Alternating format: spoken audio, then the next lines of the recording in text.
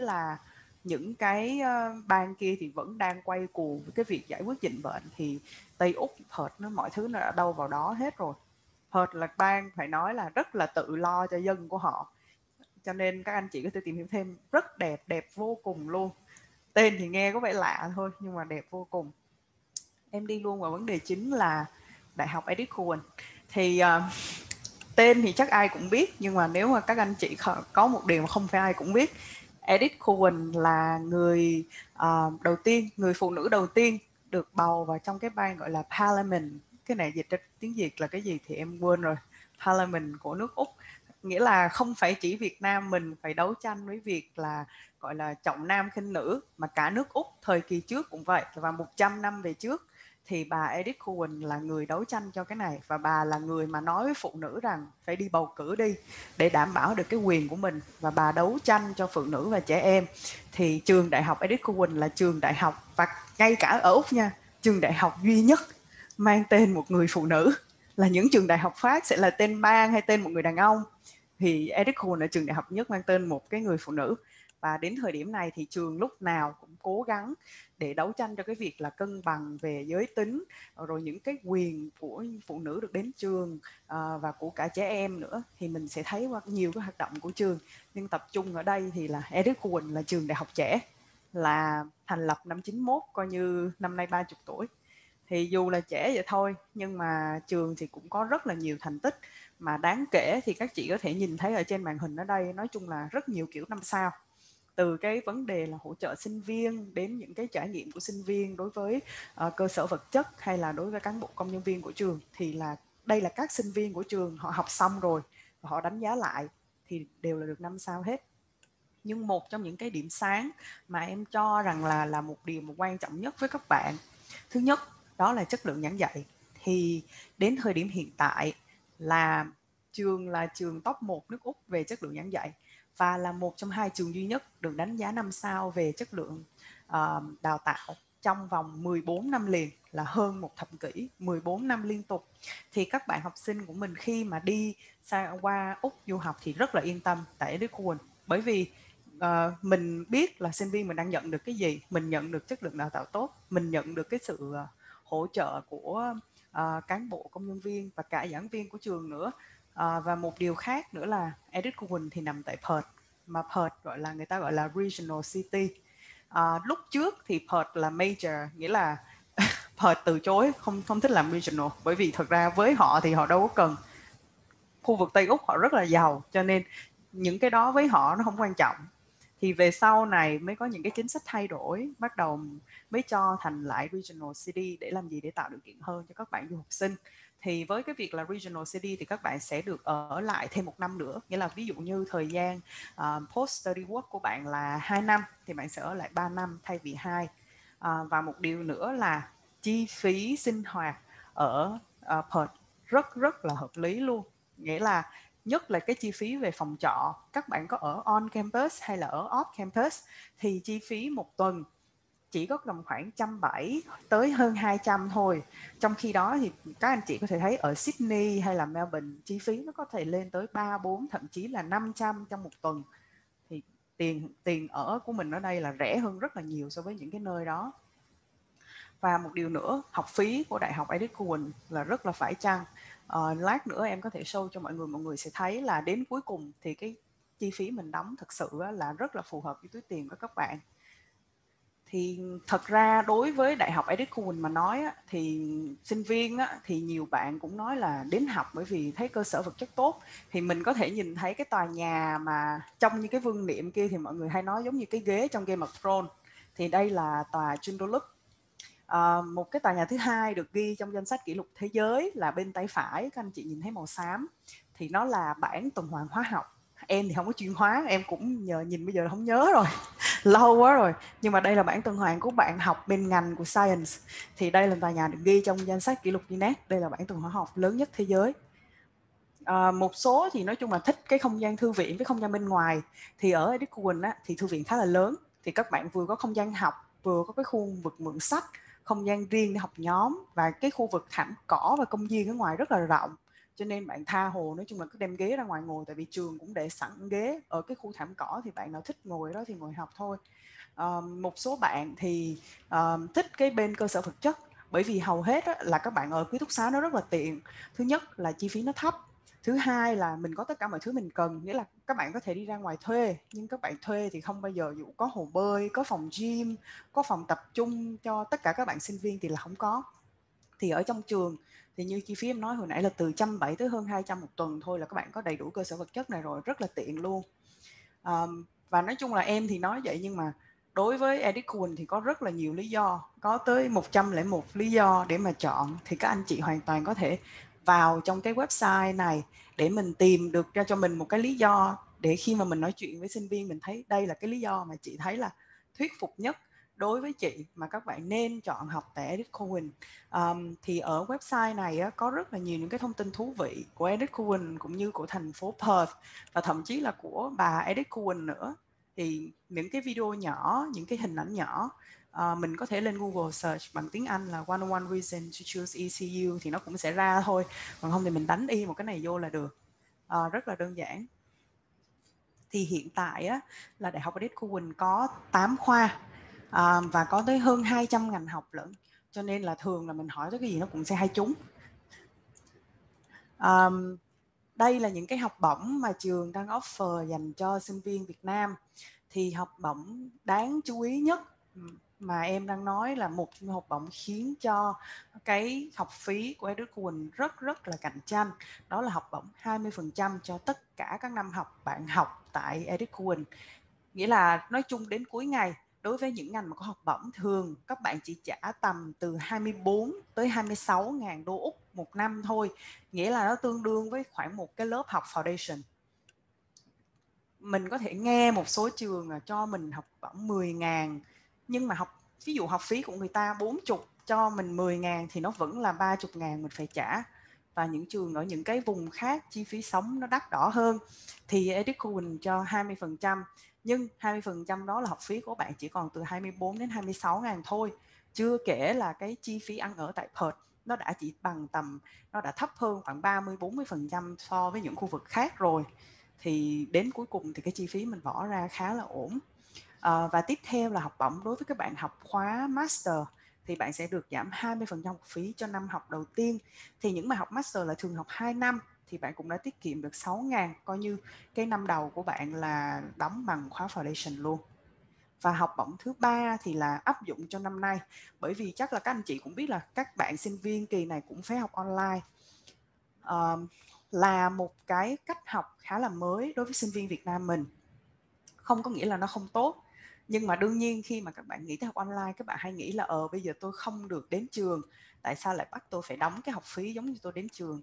Thì ờ, đúng trường thấy cũng có hợp lý cho nên là trong cái năm nay và đặc biệt là tháng 7 này những bạn nào học online sẽ được giảm 30% học phí các môn mà bạn học online. Uh, một trong những điểm nữa là Edit Cohen cho các bạn học chỉ một môn một kỳ. Nghĩa là đối với những cái lớp online này các bạn có thể đăng ký chỉ học một môn thôi thì môn đó được giảm 30% học phí.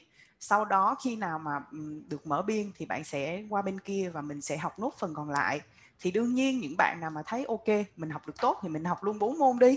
Thì mình đỡ được 30% của cả bốn môn. Nhưng mình học không được thì mình học một môn thôi. Mình học vậy thôi là ok, xong, mình vẫn được giảm 30% cho một cái môn đó. Thì tổng cái giá trị của cái học bổng, nếu như mà chỉ học bổng 20% nói riêng thôi á, thì nó phải lên tới tầm khoảng hơn 400 triệu đồng. Bởi vì với, có những bạn học những ngành phải học tới 4 năm lận thì nó sẽ được giảm 20% cho cả 4 năm rất là lợi cho bạn luôn. À, đây là yêu cầu đầu vào thì à, điểm GPA bình thường sẽ là 7.75 và 7.25 cho những bạn học trường chuyên. Ờ, à, IELTS thông thường, đây là IELTS em đang nói là điểm trung bình, đương nhiên tùy môn thì nó có những cái sự khác biệt. Trung bình nó sẽ là 6 chấm tất cả các bên. Đối với bằng thạc sĩ thì là thứ nhất mình phải có bằng đại học trong cái ngành liên quan và đương nhiên cái trường đó nó phải đang được xếp ở section 1 mà section 1 thì nó còn do cái mình biết cái NUSA đó thì một năm nó tự đánh giá đó là bên admission họ sẽ nhìn và họ đối chiếu. À, và IELTS thường thì là từ 6.5 trở lên và không có bên nào dưới 6 đương nhiên là đại học vào thẳng thì bây giờ cái yêu cầu của nó cũng cao hơn một xíu. À, bởi vậy nên mới có bên cao đẳng. Thì uh, bên cao đẳng Edith cohen á, về bản chất là gọi là joint venture với cả Edith Cowan University. Nghĩa là hai bên Edith Cowan University uh, gọi là có quyền sở hữu một nửa của bên cao đẳng nên thông tin của hai bên rất là thông suốt. Chương trình học rất là giống nhau luôn. Chỉ có cái là bạn học cao đẳng và bạn điểm thấp hơn xíu thì bạn học cao đẳng sau đó chuyển tiếp lên đại học. Thì quy cái chương trình học thì có lẽ là các anh chị cũng nắm rõ rồi. Nghĩa là các bạn có thể học lớp 11 hoặc 12 bạn sẽ học lên diploma năm 1, diploma năm 2 rồi sau đó học tiếp năm 2, năm 3 đại học. Thì theo chương trình này bạn sẽ không phải học năm 1 đại học nữa. Vậy nên những bạn nào đã học hết lớp 12 mà học vào cao đẳng thì vẫn sẽ hoàn thành chương trình bachelor sau 3 năm. Nếu chương trình của các bạn tổng cộng là 3 năm hoặc nếu chương trình các bạn 4 năm thì bạn cũng sẽ chỉ học tổng cộng 4 năm thôi. Mình sẽ không học thêm dư ra một ngày nào. Còn đối với chương trình các bạn học lớp 11 thì thật ra là ở ECC á bên cao đẳng của em thì mọi người ta gọi là diploma năm 1 chứ không gọi là foundation. À, cái điểm giống nhau của diploma year one và foundation là hai cái này đều cho các bạn học lớp 11. Tuy nhiên foundation sẽ dạy sinh viên 8 môn vô thưởng vô phạt, nghĩa là nó không tập trung cho cái major. Còn diploma năm 1 là ví dụ bạn chọn học engineering, 8 môn đó nó đã vào engineering luôn rồi. Mình không phải mất thời gian mình học lan man nữa đối với khóa master cũng vậy thì bạn cứ học PQP 4 tháng sau đó học lên master 2 năm nữa là hoàn thành. Đương nhiên cái master này nó cũng dựa vào nghĩa là bạn cũng phải đủ một phần cái điều kiện uh, mà ECU đề ra rồi và chỉ thiếu chút thôi. Có một số môn người ta thấy mình chưa có đủ thì người ta sẽ uh, khuyên mình là ok bây giờ bạn học PQP đi 4 tháng sau đó bạn học đại master. Chứ nếu ví dụ như bây giờ bằng đại học của mình là bằng về business mình nói bây giờ mình học Master Engineering thì không có một cái lớp QQP nào có thể hỗ trợ mình trong 4 tháng cái kiến thức 4 năm học đại học được. Um, như em nói lúc nãy á, thì cái lợi thế của các bạn mà khi mà học tại cao đẳng Edith Cowan thì thứ nhất là coi như bạn là sinh viên của Edith Cowan University từ cái ngày đầu tiên rồi bởi vì cơ sở vật chất các bạn sử dụng chung um, campus của ECC và ECU ngay kế cạnh nhau và cách nhau có một con đường. Ở Joondalup thì cách nhau có một con đường. Ở Matloley thì nằm ngay trong campus của ECU ở Bunbury cũng y chang như vậy. Cho nên, bởi vậy em mới nói là nó là joint venture. Bản chất là ECC thuộc về ECU không như những pathway provider khác. Đương nhiên ECU có những cái pathway provider khác, nhưng ECC vẫn là người ta gọi là preferred partner của người ta tất cả những chương trình của ECC khi đặt ra thì ECU họ đều đã qualify rồi. Có những giảng viên của ECC là giảng viên của ECU họ dạy những chương trình đó. Thì cái lợi thế của học sinh của mình là gì? Thứ nhất là mình có cái intake nó flexible hơn. Tại ECU thì chỉ có hai intake thôi. ECC mình có ba intake, thì các bạn vào cũng dễ dàng hơn cho mình mình đỡ phải đợi lâu. Thứ hai nữa là lớp học mình nhỏ hơn thì thay vì giảng đường đại học có tầm 6 70 sinh viên, thì tại ECC chỉ có tầm 30 20 mấy 30 bạn thôi. Thì giảng viên sẽ để ý mình dễ hơn. Và chính vì thế mà các bạn sẽ có cái thời gian làm quen với môi trường học, bởi vì mình học nó gọi là kiến thức nó cũng tương tự, nhưng nó không quá căng thẳng. Bởi vì mình học cũng các học sinh quốc tế, mình biết là các bạn cũng đang học giống mình. Thay vì bây giờ bạn vô một lớp mà 70% là toàn người Úc, thì mình vô mình rất là bị ngợp bây giờ bạn có một cái không gian để bạn ấy làm quen với cuộc sống dần thì sau một năm mình chuyển lên ECU là mọi thứ rất là đơn giản. Thì hiện tại á, là tại uh, bên uh, cao đẳng Edith Cowan thì có 6 ngành. Uh, đối với lớp diploma và ba ngành đối với PQP thì đối với diploma là ừ, các ngành khá là cơ bản từ bên quản trị nhà hàng khách sạn uh, thương mại những ngành về sáng tạo uh, engineering ngành về máy tính và ngành sức khỏe như là psychology nursing thì đều có và đối với PQP thì hiện tại có 3 ngành là về ngành kinh tế, IT và ngành về truyền thông. ECC cũng có học bổng cho sinh viên luôn. À, thứ nhất là học bổng về tiếng Anh, nghĩa là những bạn nào mà học tiếng Anh à, bị thiếu điểm thì sẽ được 10 tuần miễn phí, nó trị giá 4.500 đô Úc. Thứ hai là những bạn học diploma năm 2 sẽ được giảm 10% học phí, nghĩa là nó rơi vào khoảng 3.000 đô Úc. Và thứ ba là mình có học bổng chuyển tiếp à, nghĩa là bạn vào thẳng thì bạn có học bổng 20% thì bạn học chuyển tiếp bạn cũng có học bổng 20% luôn. Nếu như điểm của bạn tại ECC, ECC đạt 75% thì khi bạn lên ECU tất cả các năm còn lại sẽ đều được giảm 20% nó chỉ trừ cái khóa nursing ra thôi uh, hiện tại cái yêu cầu đầu vào của bên college cũng khá là đơn giản. Uh, điểm trung bình lớp 12 hoặc lớp 11 các bạn được khoảng 6.0 um, và IELTS 5.5 đối với PQP thì phải có bằng cử nhân và IELTS 6.0 uh, một điều nữa là ECC không chắc GTE trừ 6 tỉnh nghĩa là trường sẽ nhận hồ sơ sinh viên từ tất cả các tỉnh. À, nhưng à, đối với 6 tỉnh là Hải Dương, Hải Phòng, Quảng Bình, Quảng Trị, Nghệ An, Hà Tĩnh thì sinh viên sẽ có interview với cả bên trường để xem các bạn có đủ cái gọi là thứ nhất là nó phải genuine, thứ hai là bạn phải có cái khả năng tài chính. Bên này cái này là do yêu cầu của bên lãnh sự rồi. Thì uh, cái quy trình check của bên trường khá là dễ. Um, nộp đơn tại ECC thì tôi thường application chỉ tầm sau 24 giờ là sẽ có. Um, và nếu sau khi đã uh, gửi tiền đóng deposit thì khoảng 24 tới 48 giờ là sẽ có COE lại. Nói chung là tốc độ là rất nhanh luôn. Thì như em nói lúc nãy uh, mình có ba cái intake rất là thoải mái cho các bạn. Và đối với khóa PQP thì mình có hai cái intake.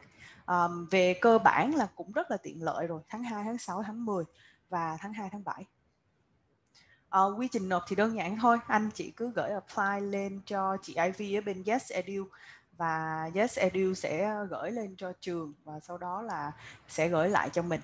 Vậy là xong. Nói chung hầu hết tất cả các cái uh, công tác chuẩn bị là ai chị Ivy đều làm hết. Mình chỉ chuẩn bị là cái hồ sơ application và những cái giấy tờ liên quan cho bạn thôi. Thì bên Yes Edu sẽ hỗ trợ mình cái này. Ok, à, đây là nói chung là toàn bộ những cái thông tin của cả Edith Quỳnh Uni và Edith Quỳnh College từ phía em. À, không biết là à, các anh chị mình có câu hỏi gì không ha? Thế là cái phần của uh, shift là hết rồi đấy ạ. Chị Hà đang raise hand này. À, nếu mọi người muốn nói thì có thể raise hand ha. À, ờ, chị Dung có nhắn cho em là em nhắc lại chị phần À, học bổng. Ờ, Dạ. chị Dung ơi, bây giờ chị muốn nghe về học bổng của bên ờ, đại học hay bên cao đẳng chị ha?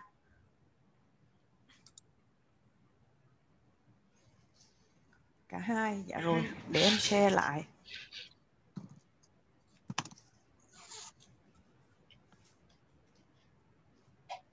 Đợi em xíu, quay lại cho nó ít. Mất tiêu. Ok, vậy thì em sẽ đi trước. Thứ nhất là học bổng của Đại học Edith Cowan. Um, thì mình sẽ thấy hai cái điểm chung giữa Đại học Edith Cowan và Cao đẳng Edith Cowan là đều có học bổng 20%. Cái điểm khác biệt là đối với đại học á, thì cái học bổng 20% này áp dụng cho toàn bộ khóa học. Nghĩa là bạn học 3 năm thì 20% cả 3 năm, bạn học 4 năm thì 20% cả 4 năm luôn. Nghĩa là bạn đủ điều kiện đầu vào. Thì trên cái offer của bạn trong năm 2021 này sẽ có học bổng 20%. Thứ hai, ờ, đại học có một học bổng 20% nữa. Đó là cho năm đầu của khóa master. Nghĩa là mình học master 2 năm thì năm đầu tiên của mình sẽ được giảm 20% học phí. À, cái thứ ba đó là học bổng cho những bạn học online à, nghĩa là trong năm 2021 gần nhất là kỳ tháng 7 này thì những bạn nào học online tại ECU sẽ được giảm 30% học phí tất cả các môn mà bạn chọn học online. À, mình lưu ý với em điểm này là à, sinh viên có thể chọn chỉ học một môn trong một kỳ khi mà các bạn học online cho nên nếu như bạn học một môn thì chỉ một môn nó được giảm 30% thôi nếu mà học 4 môn online thì cả 4 môn đều được giảm 30% thì đây là ba cái học bổng của bên đại học à, cái này chị Dung có thắc mắc gì không ạ? À?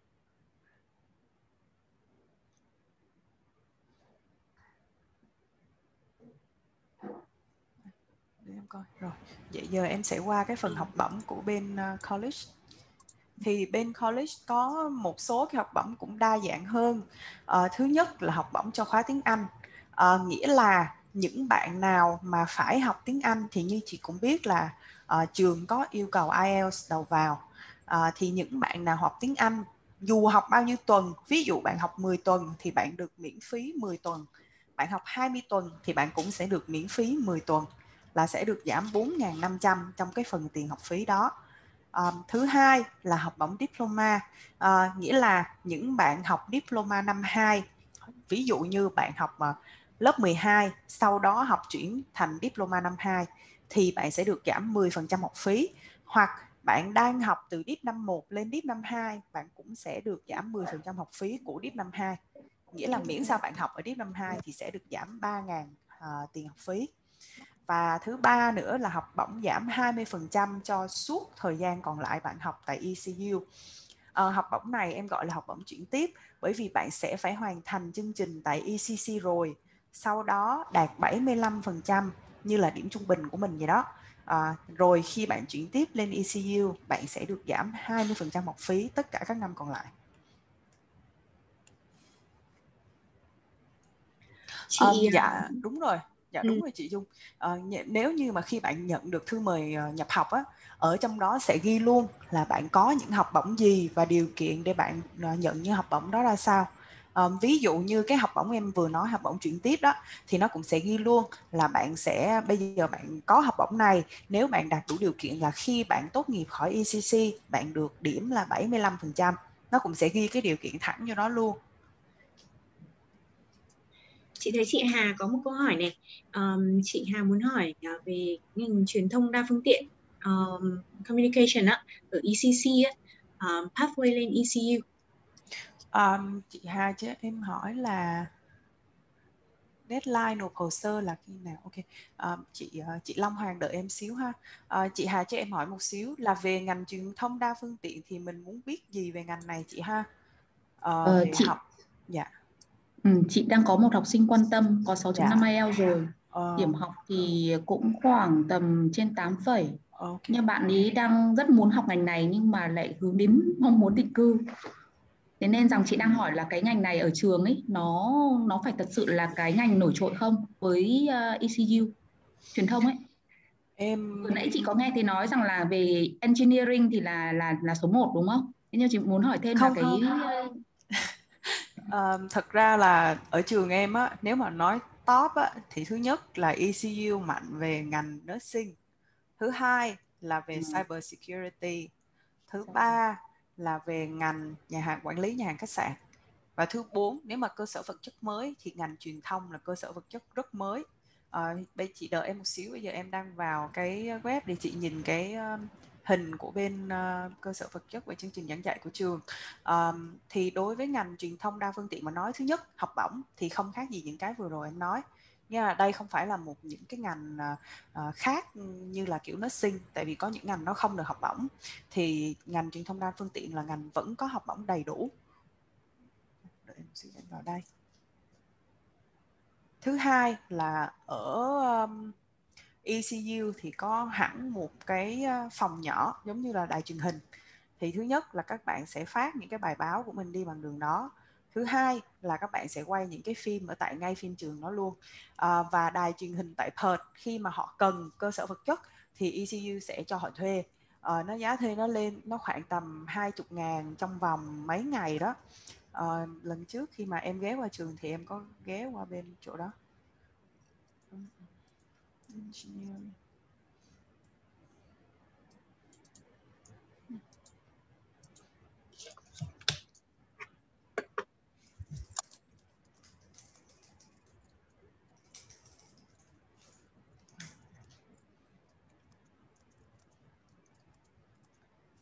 Để em cho chị coi một cái clip.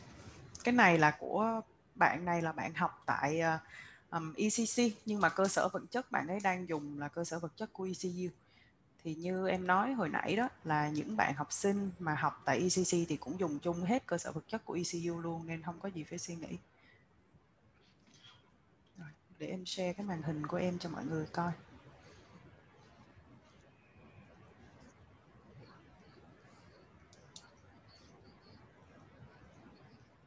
Industry. À, chị Ivy ơi, chị Hi, nghe thấy hết tiếng của em đúng không? I'm a teacher here at Cowan College in the Diploma of Communications and Creative Industries. It is a very broad area and we are really starting from the, from the very start. If you've got an interest in animation, film, fashion, TV, uh, broadcast, writing, advertising. Come along and we can take you to the next level. Hi, my name is Gracia and I'm from Bali.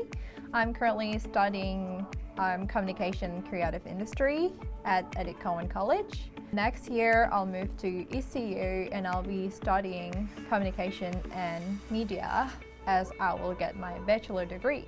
I decided yes, I want to go to ECU because they got the highest rate for student satisfactory, which is great. Students will come to Edith Cowan College and we're very welcoming like to make them as comfortable as we can and we know that people come from diverse backgrounds. So we help them with those language skills, those basic communication skills, and then we give them that, that knowledge that they can apply straight away. The great thing with Edith Cowan College is that they get the more support. So we might have a small classroom so we can really give that one-to-one -one feedback that they need and that prepares them really well to go into their major at the university. Edith Cowan College helped me to adopt with the education system so I won't get culture shock as well because they told me ECU classes will be so much bigger than ECC. We try to give them a very broad range of subjects that they can look at and so that when they go into second, third year, they can say, wow, I, I really like advertising. I'm going to focus on social media advertising and try and get some career opportunities in that way. And of course, at ECU, we've got a lot of great links to industry so we can facilitate that, that transition into the workplace. I'm interested in filming. I think recording and even um, writing the script is, sounds very, very interesting to me. One of the great things about Edith Cowan College is the facilities that we have here. I've taught at places around the world, I've, I've, taught in different colleges, but these facilities are the best that I've taught in, which makes a massive difference. They've got a full TV production suite, cutting edge uh, animation and design and 3D production facilities that will allow students to uh, really hone their skills and to become industry professionals. I'm excited about the studio. They have like a big, big studio that looks really cool. The successful students who join Edith Cowan College have curiosity. Overall, they're interested in the world around them. The digital world that we're moving into creates a level playing field, which means that if you have the innovation, if you have the creativity, you can actually forge a great career and be a leader in the 21st century.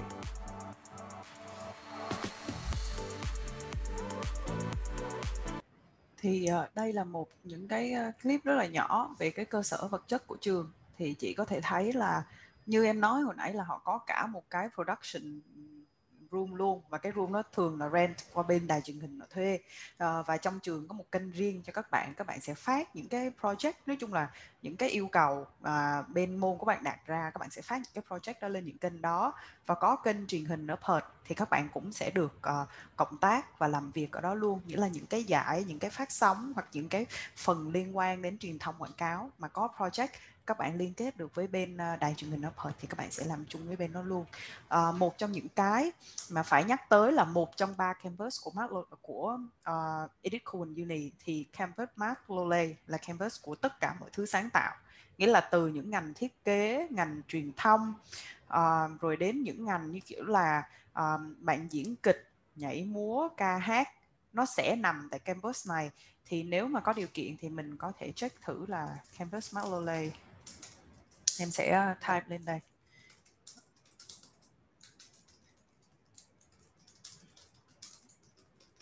Thì campus này rất là sống động. Nghĩa là không biết dùng từ nào để diễn tả nhưng mà khi mà em tới đó thì mình cảm thấy giống như là nó rất là mình cảm thấy mọi thứ ở đó đúng là nếu mà mình ở đó mình sẽ rất là sáng tạo. Tại vì mình nhìn sinh viên họ đi quanh thôi cách ăn mặc của họ cũng khác cách nói chuyện cũng khác.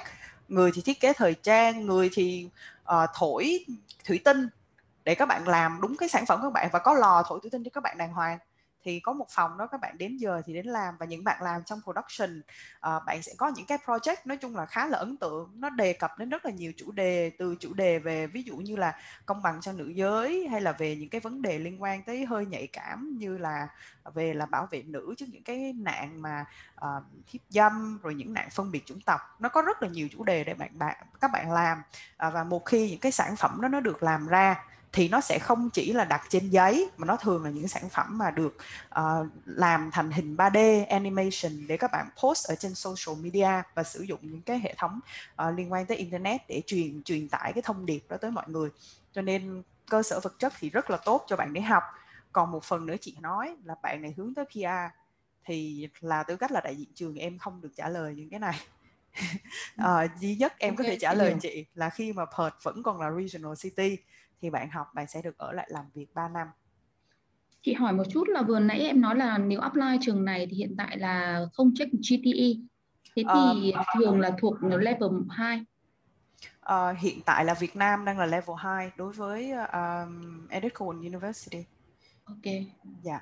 Uh, không check GTE nhưng mà 6 tỉnh ha, nha em lưu ý. Hải Dương, Hải Phòng, uh, Hà Tĩnh, hiểu rồi, chị hiểu rồi, chị hiểu đó. 6 okay, nơi đó thì sẽ check. Dạ. Ừ, ừ. Chị cảm ơn. Dạ, em cảm ơn chị. À, có chị uh, có anh Long. Long muốn hỏi là deadline nộp hồ sơ là khi nào? Um, thì À, anh Long Hoàng. Anh Long muốn hỏi uh, cái deadline cho cái kỳ tháng uh, tháng 7 2021 và cái kỳ tháng 2 2022. Rồi, à, thì thật ra là không có deadline anh ạ. À.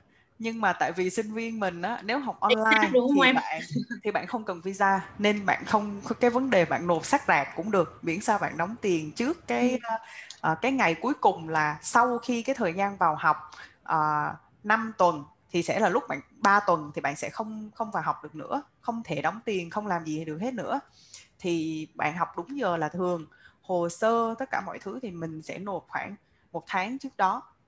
Đó um, à, một tháng trước đó để mình xong hết giấy tờ. Nếu như bạn dự định ví dụ tháng 7 bạn đã kêu ok bây giờ mình nhất quyết là mình đi học tháng 7 này rồi. Thì anh nộp liền cho bạn thôi. Còn nếu bây giờ bạn suy nghĩ một hồi tới tháng 6 bạn nói là ô bây giờ mình lại muốn đi học tháng 7 thì anh hoàn toàn có thể nộp ngay lúc đó. Và anh báo chị Ivy là case này gấp tại vì bạn ấy học tháng 7 chị ừ. Ivy sẽ liên lạc với em và sau đó em sẽ liên lạc với trường để đẩy nhanh cái case này cho mình để bạn đi học cho nó đúng ngày đúng tháng còn mọi khi khi mà mình có visa thì bao giờ cũng vậy. Thường là mình sẽ làm hồ sơ trước 3 tháng 4 tháng để các bạn xong giấy tờ rồi, rồi có visa xong bạn quay đi qua kia đi học cho nó uh, rong dông thời gian mình nó dài nó đỡ bị cập rập. Thì về bản chất là không có deadline nào cả. À, nhưng mà để tốt nhất cho mình mình đỡ cập rập sinh viên mình đỡ cập rập thôi À, chị Dung có câu hỏi là dự kiến đi bao giờ sinh viên Việt Nam được sang Úc học à em? cái này thật ra là một trong những cái uh, câu hỏi mà cũng muốn hỏi câu đó chị ơi. Cũng, mình cũng muốn hỏi bản thân uh, mình với lại biết là bao giờ Morrison mở border đúng không em? um, thì về phía chính quyền Úc là từ trước đến nay vẫn rất là kính tiếng trong cái việc ra bất kỳ cái thông báo chính thức nào về việc border mở cửa bởi vì cái ưu tiên của họ vẫn là đảm bảo an toàn cho những người đang ở úc. Thì chị có thể thấy thật ra công nhân úc bây giờ vẫn chưa về úc nha chị. Nghĩa là những cái người mà đang đi du lịch ở đâu là tới giờ vẫn ở đó. Tại vì bạn của bạn em là người úc mà đang ở thái lan là coi như ở đó hết hơn năm rồi. Là ở thái lan suốt từ cái hồi đi du lịch năm ngoái tháng 3 cho tới thời điểm này. Thì bản chất bây giờ là cũng vừa rồi mới có một thông báo là à, úc sẽ tiếp tục đóng cửa biên giới tới tháng 7 nghĩa là chỉ nói là tới thời điểm tháng 7 thôi không nói gì hơn. Nhưng cũng đã có một tin đáng mừng nữa là úc sẽ chuẩn bị bàn với sinh về việc cho sinh làm cái nước trung chuyển trung gian uh, giữa uh, các nước khác bay đến úc. Thì nghĩa là dự kiến họ muốn là bây giờ người ta sẽ đến sinh rồi cách ly 15 ngày ừ. uh, rồi sau đó bay sang úc thì nó chi phí nó cũng rẻ hơn. À, và một điều nữa là úc thì bây giờ họ cũng đang tiêm vaccine rồi thì giờ họ cứ tiêm hết người trong nước họ đi.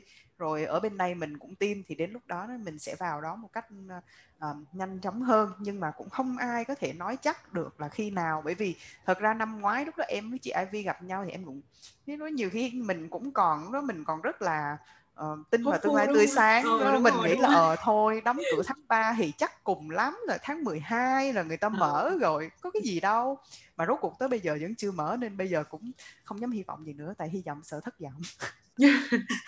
Đúng đấy. À, thực ra là nhiều có một số cái cái cái đợt mà có một cái pilot program sang úc đó thì có có một, có một cô um, gọi là Mayer hay là làm trong ờ, trong trong trong bên quốc hội ấy uh, ờ, cũng có phản ứng khá là gay gắt về việc là tại sao mà không cho học uh, không cho người úc về về úc trước mà lại ưu tiên học sinh quốc tế sang uh, thế cho nên là cũng cũng vấp phải nhiều những cái những cái phản đối từ từ phía bên trong nội bộ của của, của chính phủ họ nữa ấy. Uh, cho nên là um, em nghĩ là um, trong cái cái cái cái um, quyết định để ờ, đưa ra cho các bạn học sinh uh, quốc tế tới tới úc nó cũng phải mất ờ, nhiều thời gian.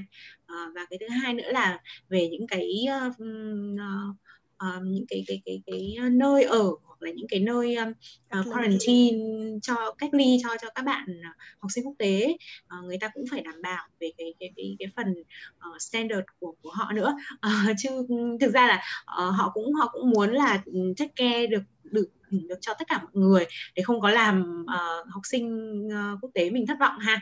Uh, như um, well một số nước nào đó. như một số nước nào đó. Uh, thế cho nên là em nghĩ là cái đấy nó cũng nó cũng phải thêm thời gian để họ chuẩn bị những cái đấy nữa. Và thực ra là ở úc thì chắc là cũng chỉ sẽ ở xung quanh những cái thành phố lớn thì họ mới có đủ về về về về uh, nguồn lực về nhân lực để họ allocate uh, chăm sóc cho cho cho những cái những cái ờ, khu cách ly như vậy thôi. Uh, thì cho nên là khi mà khi mà họ set up một cái location mới đấy thì họ cũng sẽ phải điều điều động nhân sự để họ take care cho cho cho, cho những người cách ly trong cái khu đó nữa. Nên là hy vọng là hy vọng là tới gần tháng 7 mình sẽ sẽ sẽ sẽ biết thêm tin mới.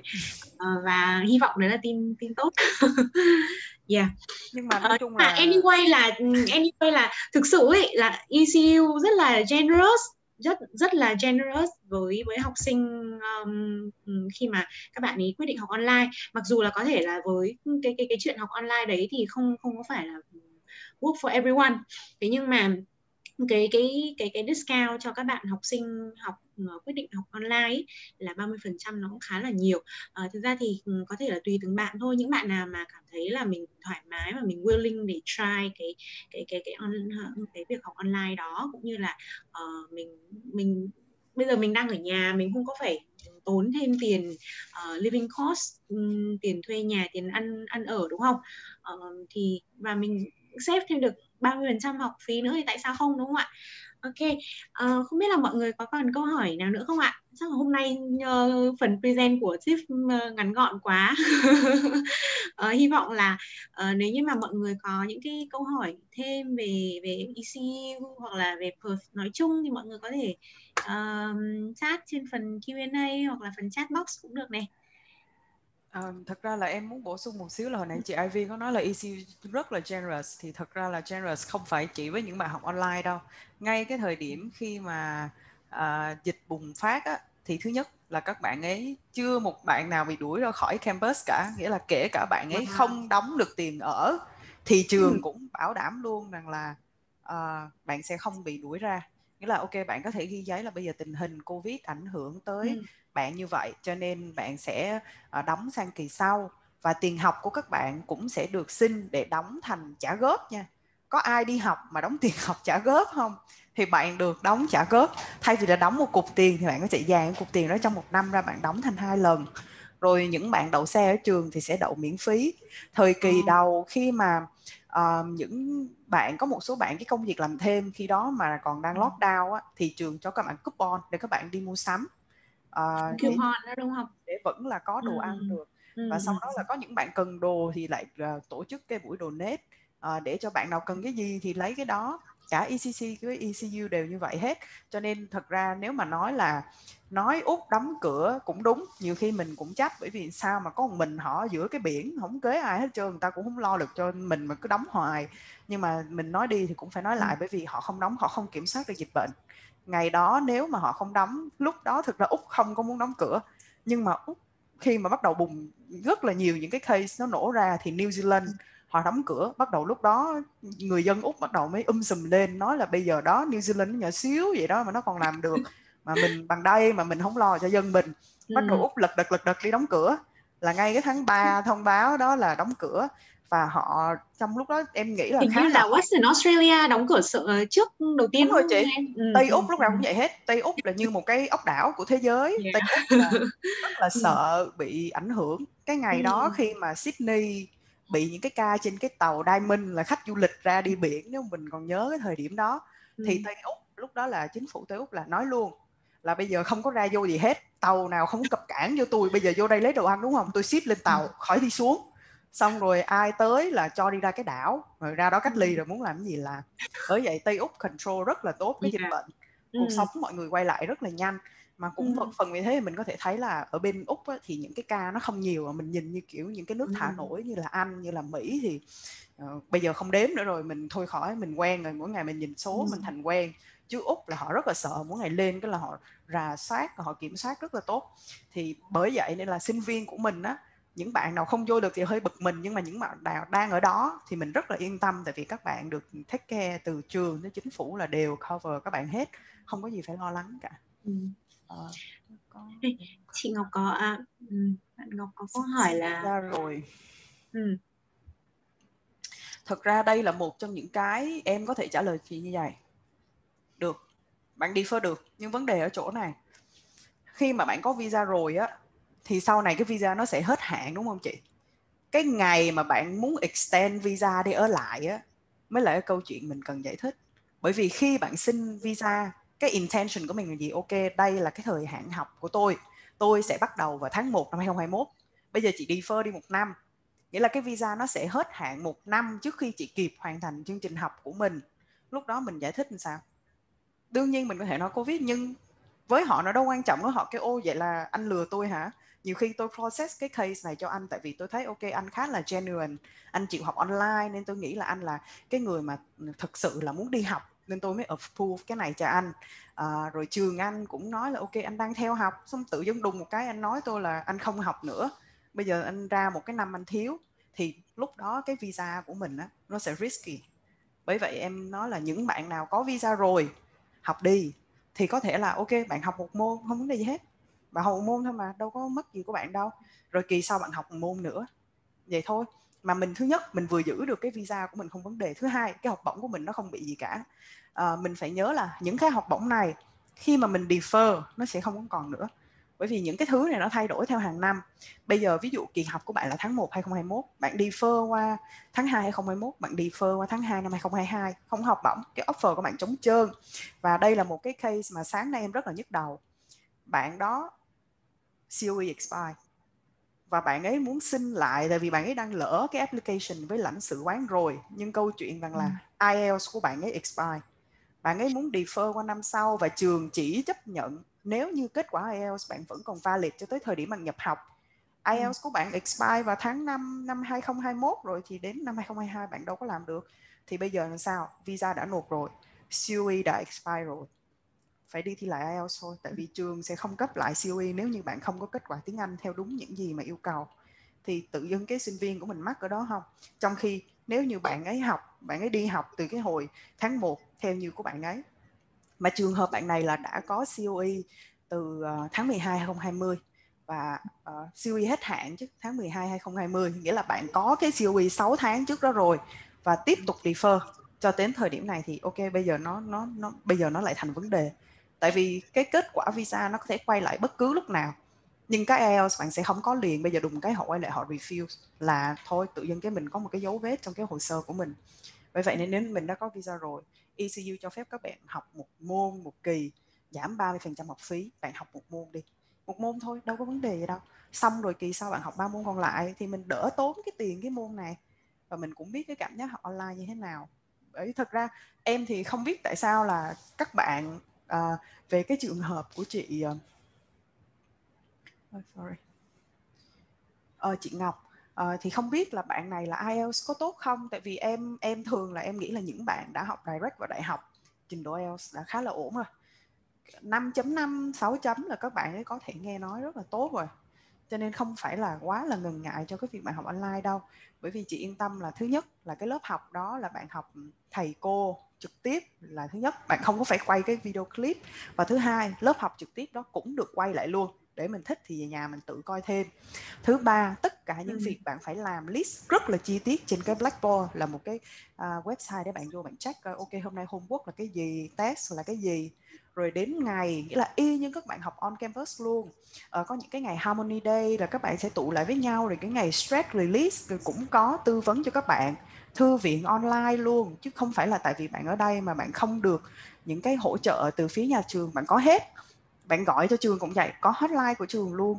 Giảng viên vẫn sẵn lòng hỗ trợ các bạn và cái việc mà mình học được online á một trong những cái mà sau này khi mà các bạn ấy có thể đi xin việc và thuyết phục của nhà tuyển dụng là ngày gì ngày đó khi mà covid xảy ra lẽ ra tôi sẽ có thể đợi 2 năm trời tôi đi học. Nhưng tôi quyết định ok bây giờ tôi sẽ ở đáp tôi sẽ ở đáp theo cái thay đổi này và tôi học online. Thì cái đó mình chứng minh được bản thân mình là tự mình mình ở đáp được mà. Thì em nghĩ là chị Ngọc hoàn toàn có thể là áp dụng ngay cái case của chị em mình bây giờ. Em đâu có gặp chị. Em với chị làm việc online mà. Đúng không? Thì sinh viên của mình cũng vậy thôi em đi làm bây giờ sếp của em ở bên úc có việt nam đâu. Mấy khi mà em gặp sếp em đâu, giờ gọi, bây giờ có gì email qua, email lại, xong rồi gọi thôi, chứ có bao giờ nhìn thấy nhau để mà hỏi đâu. Cho nên nó cũng là một trong những cái công việc em đang làm. Từ trước tới giờ em làm là em ở đây và sếp em ở bển. Đúng không? Thì mình có thể là thuyết phục các bạn là bằng cái công việc của mình. Tại vì nếu như mà mình có vấn đề gì thì chị Ivy hoàn toàn giúp. Tại vì em, team của chị Ivy cũng như vậy luôn là có hai người ở đây thôi. Còn phần còn lại là khắp nơi trên thế giới cho nên cũng không phải là làm việc face to face. Thì nó cũng khá là nhiều cái lợi ích của cái việc học online có thể mang lại cho các bạn. Và nhiều khi là các bạn hơi ngại ngần trong cái việc đó. Mình chỉ nghĩ là oh, ok mình học online ô mình thấy không thích um, không quen. Nhưng mà rồi đó sau này khi mà mình bắt đầu đi làm mình sẽ thấy là ồ biết vậy hồi đó tôi học online khóa cho nó biết cảm giác. Ờ đúng rồi. Ờ, để làm quen đúng không? Training training time. Um, thực ra thì có một cái nữa mà chị cũng muốn bổ sung thêm với lại tip đó là um, cái thời gian cách biệt giữa Việt Nam cũng như là Perth chỉ có một tiếng thôi. Uh, nó có lợi hơn rất là nhiều so với các các bạn uh, hiện đang có những cái COE hoặc là đang định up level những cái trường tại Melbourne hoặc là Sydney hoặc là Brisbane á. Thì cái khu vực bên đấy là nó cách tận 4 tiếng lận. Thế cho nên là có những cái lớp mà khi các bạn uh, bắt buộc là phải attend uh, ờ, phải phải uh, có roll call thì nghĩa là giáo viên sẽ điểm danh các bạn ạ thì cái cái cái việc mà uh, cách nhau có mỗi một tiếng như này này thì thực ra là nó nó rất là ừ, tiện cho các bạn học sinh Việt Nam mình cũng như là các bạn học sinh trong khu vực Đông Nam Á mình có thể thường thì là ừ, chắc là lớp sớm nhất uh, ngày xưa chị chị học chắc là tầm 8 giờ à 8 giờ sáng 10 giờ thì tầm 9 giờ ừ. các bạn vô học Yeah, thì có những cái lớp đấy là những lớp sớm nhất rồi. Thế còn những lớp mà bình thường thì tầm 9 10 giờ là là các bạn sẽ có lớp thì ở Việt Nam mình khoảng 8 9 giờ là mình có thể vào học là ok rồi um, cho nên là cái việc mà lựa chọn Perth thì nó cũng là một cái điểm khá là lợi cho các bạn học sinh học online Việt Nam mình Đấy cộng thêm thật... discount nữa đúng không em? Thật là các bạn chỉ no one say no with discount. Đúng thật. Các bạn chỉ học có một môn thôi, nghĩa là ví dụ học hai ba môn đi thì nhiều nó rất là dễ thở. Mình phải ngồi ví dụ 3 4 tiếng mình không thích một môn bạn ngồi 45 phút hết môn yeah. không đâu. rồi. Ok mọi người còn câu hỏi nào không ạ? Hôm nay là uh, mình chit chat nhiều hơn ha. Chắc là có những nhiều những câu hỏi này thì cho mọi người uh, thấy thoải mái hơn. Cũng như là uh, nếu như mà học sinh mình có dạ. ok chị dung nha. Em sẽ gửi em sẽ cái, cái email xong rồi ok nếu như mà mình không câu hỏi gì nữa thì em cứ cho là mọi người nhớ hết rồi nha vậy bây giờ mình chơi một cái trò chơi ha. Qua đàng hoàng nha. Thì uh, uh, không, chắc là anh chị quen với cái này rồi phải không? Cái trò ca hút này nè. Um, ơi quen lắm rồi. Quen rồi. Đó bây giờ làm online điếc thì em có một phần quà nhỏ. Đây là phần quà có lẽ là em nghĩ là phim bố già thì ai cũng biết ha. Ừ. thì uh, uh, thì đây là vé xem phim của CGV um, uh, một số anh chị có lẽ là chưa có thời gian đi thì vé này thật ra là xem phim gì cũng được. Thì sắp tới ví dụ như là bố già nè rồi gái già lắm chiêu thì phim này ừ. cái hạn của nó tới tận tháng 9 lận cho nên mình cứ lựa lựa chừng nào ngay cái phim mình thích thì mình đi coi.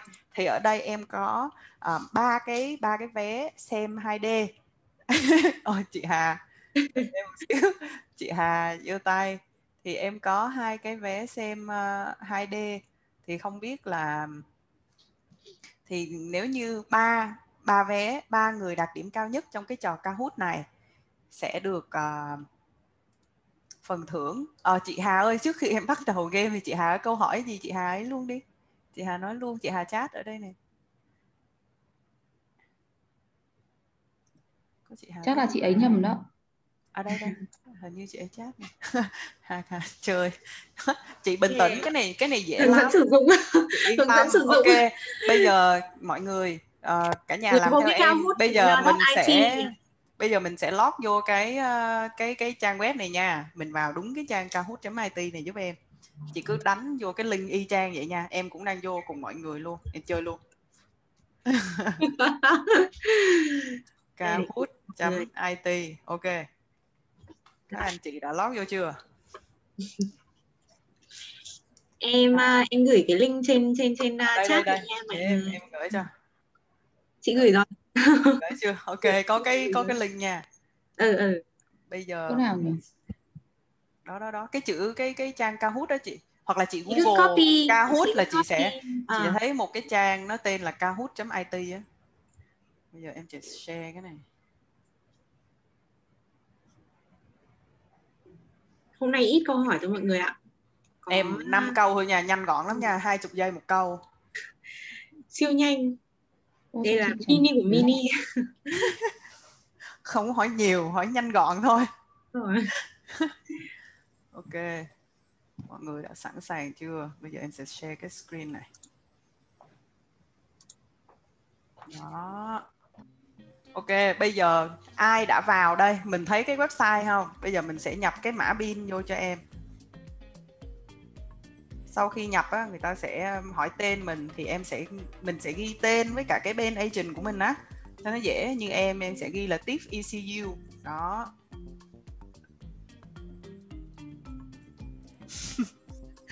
mọi người uh, mấy đợt trước cũng chơi nhiều rồi em ạ.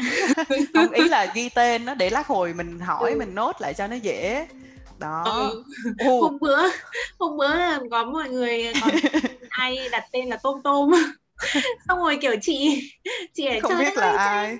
cho em xin đây. tên thật và và địa chỉ education ghi chữ dày làm sao mà lẫn lộn được.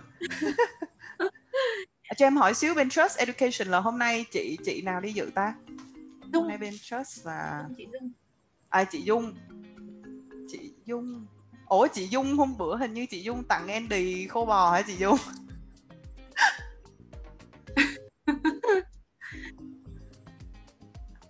Với chị Dung có nghe em không? Bây giờ mọi người vô hết rồi thì thì hú em một tiếng nha.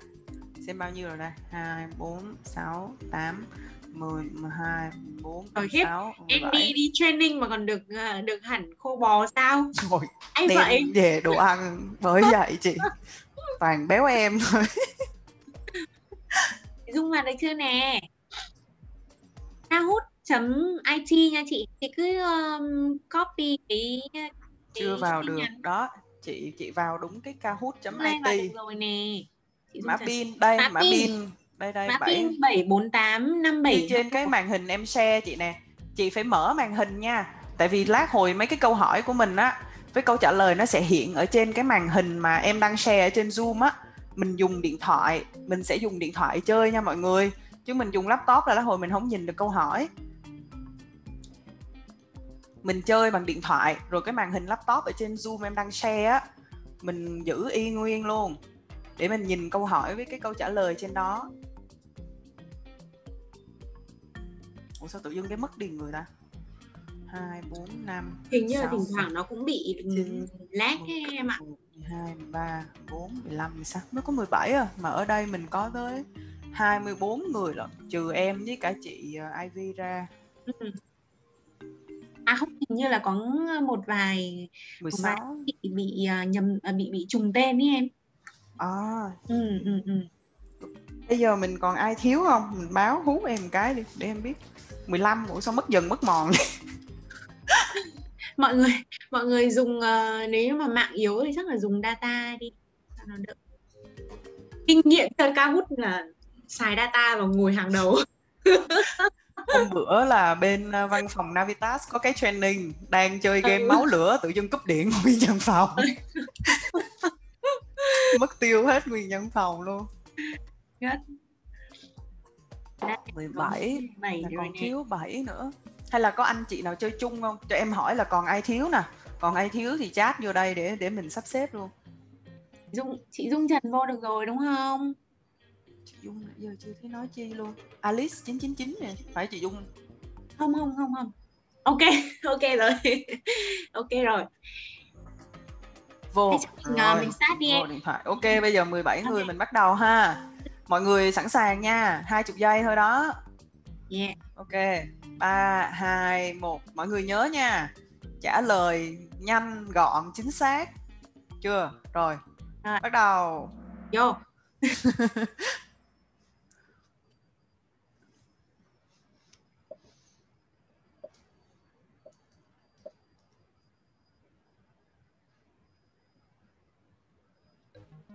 ECU ừ. năm nay bao nhiêu tuổi ạ? À?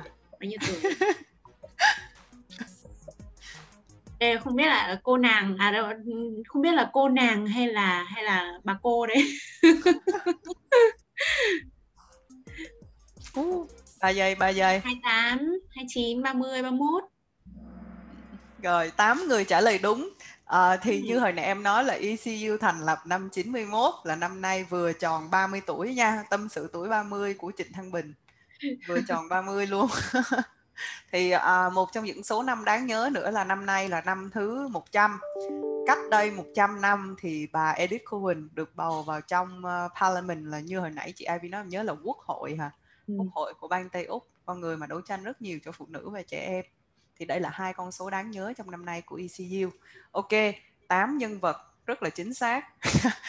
Những à, mọi, mấy người còn lại chắc là đáng đáng đại đại hả? Ok, mình qua câu tiếp theo nha.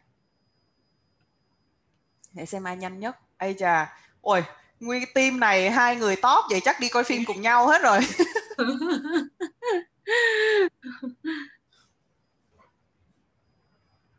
Năm sao về chất lượng giảng dạy trong bao nhiêu năm? Thôi cái này trả lời nhanh chắc là nhớ. Cái kia cái cái câu này hôm qua chị chị vừa mới xem lại luôn á sếp. Xong rồi chị mới nhớ. 16 chắc đủ rồi, ok, qua luôn. Ê 17 nè. Không 17. Ừ. Thôi ok, đủ 20 giây rồi. Để mình skip ừ. qua. Trời ơi 12 người trả lời đúng. 14 năm liền nha mọi người. Tính cả năm 2021 là 14 năm liền. Rồi. Ôi ôi trời ơi nguyên team đi coi phim rồi. Nguyên team. Chắc ngồi cạnh nhau ngồi cạnh nhau bàn bàn bàn câu hỏi luôn ha. Thành phố nào ta? thành phố mộng mơ xinh đẹp. này siêu bonus nè. Trời nhanh ghê luôn đó nha. Ừ. có mỗi cái đầu tiên kia là hơi lâu chứ cái này chắc là này. quen game rồi nên vô lẹ. Ừ. rồi coi nè. Trời đúng hết luôn. Ôi em hạnh phúc quá các chị. Ôi thật là thật là yên tâm không ai trả lời sai là price of the day ấy. chính xác luôn thành phố Perth nước ở bên Tây Úc. À chị Alice bốn số 9 đã lên rồi. Nhưng mà cái team này vẫn nằm trong top 3 nha. Ừ. chị Huệ Y Linh và chị Mai Hương đang rất là sát rồi đó. Bây giờ, bây giờ. Còn hai câu nữa mọi người cố lên câu này true and false này.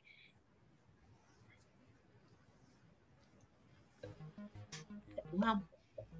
À, đây là hình một cái hình của Perth nha mọi người. Cho nên các anh chị có thể Google và tìm thử. Perth đẹp lắm đẹp vô cùng. Đẹp thơm mộng chữ tình. Cái dịp uh, quảng cáo như thế chị cũng muốn đi quá. Không đẹp đẹp thật đẹp thật. Ừ. Ôi, mọi người ơi chính xác chính xác. Regional city được thêm một năm so với các nơi khác. Ừ. xuất sắc luôn. Rồi xem nào có thay đổi không? Trời chị huệ trần lên rồi. Wow. Một câu nữa thôi đó. Mấy mấy anh ở trên Sun cẩn thận nha.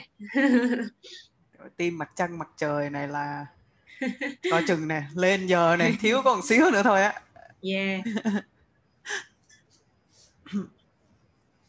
câu này hơi khó nha mọi người ừ. câu này chắc phải take nốt lại ha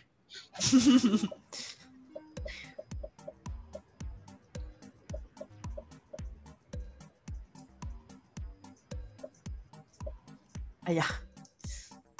Xem nào.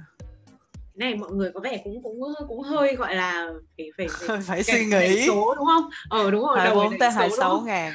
Thì như hồi nãy em nói là học phí tại ECU một năm rơi vào khoảng từ 30 tới ờ, ba hai ba ba ngàn thôi cho nên thành ra là yeah. Dạ. thêm học bổng 20 phần trăm thì học phí của bạn rơi vào tầm khoảng 24 đến 26 ngàn bằng một lớp foundation rồi ui kết quả cuối cùng rung quá hạng ba ôi chị Alice ôi. à ok chắc là ôi trời thôi tim này đi. Rồi chúc mừng các anh chị ở team mặt trăng mặt trời. Và chị Alice 999 Huệ và Thái Hương. Trời ơi, còn chị ờ, Huệ và chị ờ, Hương nữa, hai người rất là gần. Yeah, close ha rất cảm ơn tất cả mọi người. Thì ờ, cái phần uh, ca hút của mình đã là đến đây là kết thúc cái chương trình rồi. Ừ. cảm ơn uh, Chip ha. Um, và em thì em có chị có địa chỉ của của, của Sun Moon rồi thì dạ. chị sẽ gửi uh, địa chỉ cho Chip ha. Cảm ơn em rất là nhiều đã tài trợ um, hai vé xem phim miễn phí cho ba ba cái à, ba vé ba vé ha. Sorry ba vé. Um, và cảm ơn tất cả các anh chị đã dành thời gian uh, tham gia cùng uh, uh, Ivy và Tiffany trong buổi uh, training ngắn ngắn và cũng cũng cũng khá là nhiều những cái câu hỏi uh, được được được hỏi từ các anh chị cho cho cho trường. Uh, hy vọng là trong thời gian tới thì cũng có những cái uh, học sinh các bạn sẽ quan tâm nhiều hơn tới uh, ECU cũng như là những cái selling point uh, về những cái thông tin mà uh, như Tiff ban nãy có ban nói đó là những cái cái cái um, reason để chọn uh, ECU uh, ờ, thì Ivy sẽ gửi cùng với lại cái PPT cũng như là uh, cái recording ngày hôm nay uh, cho những ai mà không có thể tham gia cái buổi ngày hôm nay ha. Uh, cảm ơn em và hy vọng là sẽ sớm gặp mọi người sớm trong trong, trong tương lai in person ha. Uh, hy vọng là um, chúng ta sẽ có một cái năm uh, gọi là cố gắng fighting cùng nhau ha. Và ok cảm ơn sếp và cảm ơn tất cả mọi người. Uh, hẹn gặp lại sớm mọi người. Bye bye. Dạ, cảm ơn chị Ivy em cảm ơn tất cả mọi người. Hẹn gặp lại cảm mọi người nha. Mọi người giữ sức khỏe nha. Bye bye mọi người. yeah, bye bye em